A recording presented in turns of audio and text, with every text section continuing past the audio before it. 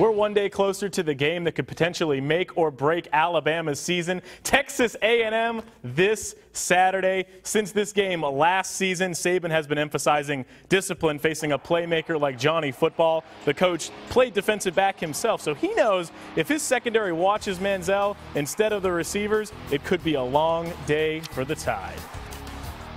You're not going to make him be a pocket passer because if someone's not open, he doesn't throw him the ball. He's going to extend the play to run or to make a play throwing the ball. And I think throwing the ball first for him is what, what he does. Uh, he will run and he can run, and he's an effective runner, and he's really fast. Be sure to stay tuned to Fox 10 News and Fox10TV.com for sports anchor Simone Eli's coverage of the rematch. She'll have her live reports on air and online starting tonight at 9 o'clock. Well, aside from